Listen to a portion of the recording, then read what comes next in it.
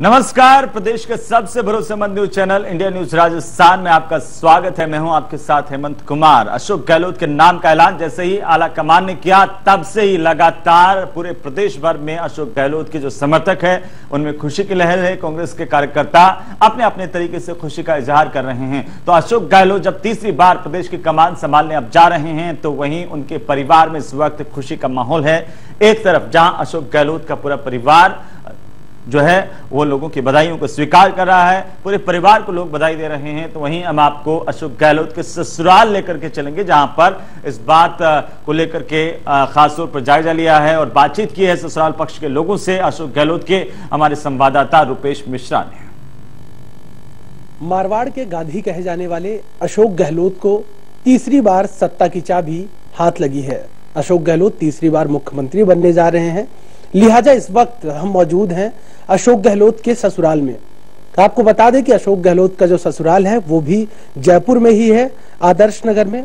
और इस वक्त हमारे साथ अशोक गहलोत के साले साहब मौजूद हैं। हम उनसे बातचीत करेंगे, उनकी धर्मपत्नी हमारे साथ मौजूद हैं। हम उनसे बात करेंगे और कुछ आपको ऐसी अनोखी तस्वीरें दिखाएँगे जो वाकई देखना बहुत मुश्किल है।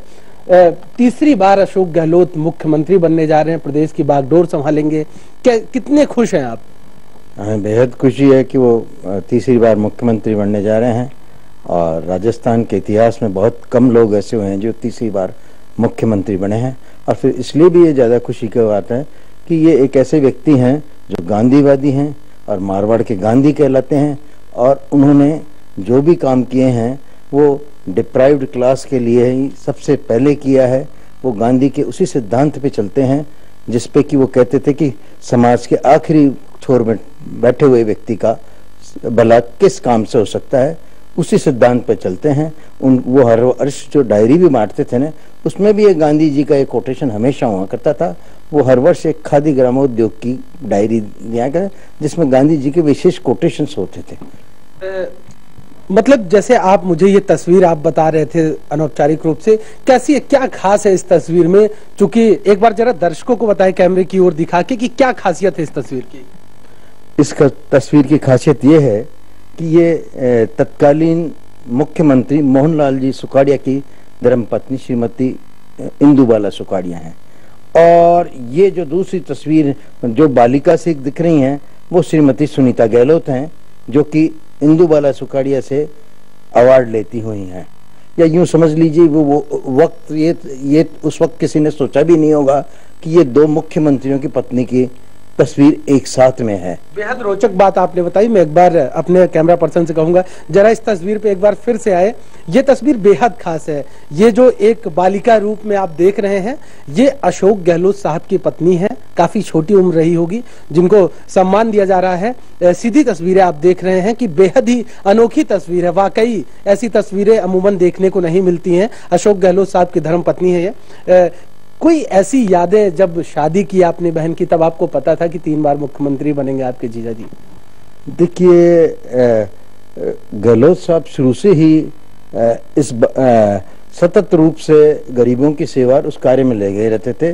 वे 77 जब बांग्लादेश वार हुई थी तो वो शरणार्थी कैंप में भी गए थे और उस वक्त भी उन्होंने काफ़ी काम किया था और उसके बाद में जब ये जिस तरीके से वो कार्य करते थे, उससे ये लगता था कि ये मेरे पिताजी का भी कहना यही था कि कि ये काफ़ी लंबा पॉलिटिक्स में चलेंगे और और इनका ये ये पॉलिटिशियंस नहीं है ये।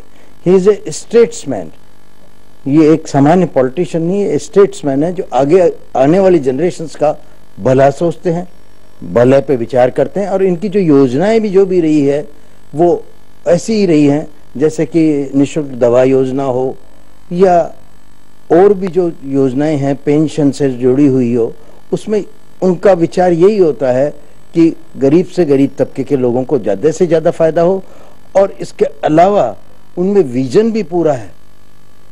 उनमें विजन भी पूरा है, जैसे कि वक्त मेट्रो का आना हुआ हो, और भी जो प्लानिंग है, जिससे कि जनता का भला हो सके वो सभी विषयों पे विचार करते थे। क्योंकि संगठन महासचिव भी हैं दो बार मुख्यमंत्री रहे तीसरे बार मुख्यमंत्री बनने जा रहे व्यस्तता रहती है लेकिन क्या फिर भी आना जाना हो पाता है गहलोत साहब का? कब आए थे यहाँ पे? तिथि त्योहार में आना जाना होता है देखिए आना जाना मैं अब मैं कहता हूँ कि वो एक सोशल व्यक्ति हैं और उनको हमारे से ज़्यादा राष्ट्र की और जनता की सेवा करनी चाहिए। इसलिए हमारे यहाँ कम आए ज़्यादा आए उसका कोई महत्व नहीं है। मैं तो यही कहूँगा कि वो राष्ट्र की सेवा में ही ज़्यादा लगे रहे। बड़ी बात कही आपने राष्ट्र सर्वोपरि है प्रदेश के लोगों की सेवा करें। आ, मैं आपके पास आऊँगा वो कौन सी तस्वीरें आप मुझे अभी दिखा रही थी? कौन सी खास तस्वीरें? ये ये क्या खास है इस एल्बम की क्या खासियत है? देखिए मेरी बेटी की शादी हुई थी नाइन टू में। तब ये उन्होंने बहुत अच्छा वक्त दिया था और घर के एकदम परिवार की जैसे रहे और हर फ़ंक्शन में आए और उस समय जब, जिस दिन शादी थी, उस समय की ये तस्वीर है। ये जीजाजी है, फिर दीदी है, उनकी बहू है, बेटी है और उनके ब्रदर हैं, उनके सिस्टर के बेटे हैं। और इनके ये ये ससुराल पक्ष में जब गहलोत साहब की शादी हुई थी ये तब की तस्वीरें हैं। अशोक गहलोत साहब साहब देखे जा सकते हैं। वैभव गहलोत हैं इसमें साथ ही साथ उनकी धर्म पत्नी है। इसी तरह के कार्यक्रम में वो शिरकत करते रहते हैं यहाँ पे आते होंगे। ज़ाहिर तौर पर कुछ उनके बारे में ऐसी चीज़ें बताएँगी जो किसी को ना पता हो उनकी खासियत हो। कुछ खाने पीने में पसंद करते हो कुछ खाना तो वो बहुत ही सादगी वाला खाना खाते हैं। अब नेचुरली जब वो दामाद है तो हमें तो तैयारी तो उस हिसाब से करनी पड़ती है। लेकिन बहुत ही, जिसको कहते हैं सिंपल खाना और बहुत ही अगर हम उनको कुछ सगुन में भी देते हैं तो वो जनरली उसे नहीं लेते हैं।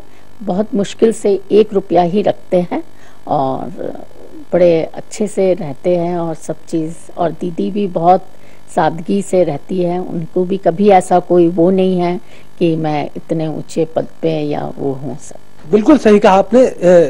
सादगी जो है जो अशोक गहलोत की एक पहचान है और ये उनकी ताकत है। तो कब यहाँ वो अंतिम बार आए थे और कैसा माहौल था?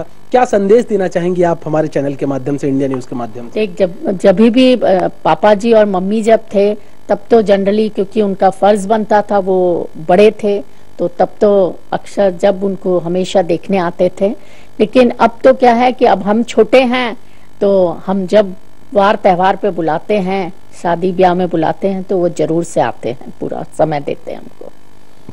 तो ये अशोक गहलोत के, ये ससुराल पक्ष के थे, साले थे, उनकी फैमिली थी, जिनका साफ़ तौर पे कहना था, घर नहीं आते हैं, कोई बात नहीं, क्योंकि अब उनकी जो प्राथमिकता है, देश और प्रदेश की सेवा है, और वही सर्वोपरि होनी चाहिए।